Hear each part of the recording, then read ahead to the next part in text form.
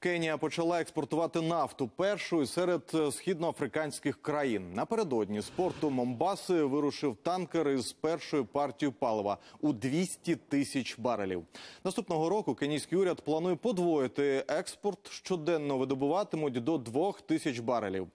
Розвідку нафти у Кенії почали сім років тому. За підрахунками поклади чорного золота в Україні сягають близько 750 мільйонів барелів.